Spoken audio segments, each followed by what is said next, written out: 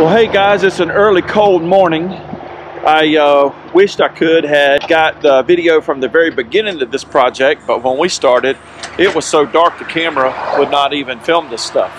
So anyway, uh, today's project is uh, working up at the new Little Birds Daycare Center. And let me swing the camera around and I'll show you what we got going on. So pardon the noise, lots of activity right now. But anyway, this building is probably over 30 years old.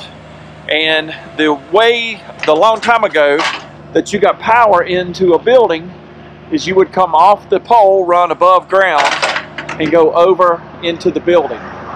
Well, part of the modernization is, is we are going to run new power line input and we're going to be putting it underground.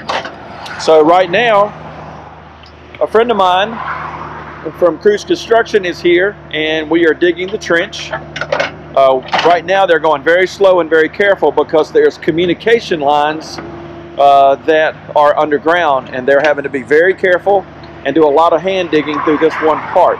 And how we know that is you call and have them come over and if you can see there's marks on the ground showing where underground cables are. See the orange dots? And so all through this area, they are being very careful until we get past that. So anyway, while that is going on, let me bring you around here over to the side and I will show you. So while he is digging that, me and my son are going to be getting this ready and this is the wire that is going to be going in the ground that will feed their their new business and this is called 4 alt 4 alt 2 alt. And the way they go by that is see how much bigger the diameter the black wire is compared to the yellow? So this will be a hot leg a hot leg and the neutral. And we are going to be working to get all of this ready to go in the ground. So anyway let's get back busy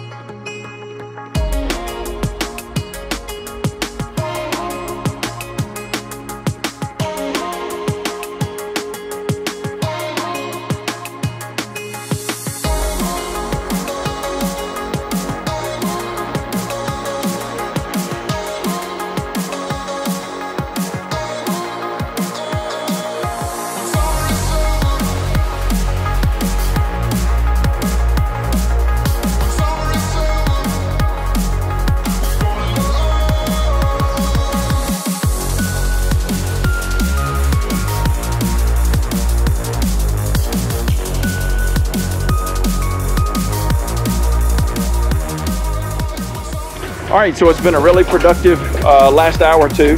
We got all the wire in the ground and it now comes up to right here. We will take all this wire and we'll pull it up and it'll await the power company and they will run it rest of the pole to tie it in. And we're now backfilling. And now this wire will tie into the meter base. We're actually doing away, we don't need, uh, when they added onto this building, they brought in a separate power circuit I don't know why they did that. We only need one 200 amp service. So we will tie in and uh, one of these are gonna go away. So anyway, and if you guys are wondering what the extra PVC pipe is for, this is for us to run communication lines. Right now, all of those lines are old telephone lines that run, I don't know if you can see them, but they run right into the top of building. This is all going away as well and everything will be underground. We'll have fiber optics and internet service, data cables, and they'll all feed in through the PVC pipe. So modernization.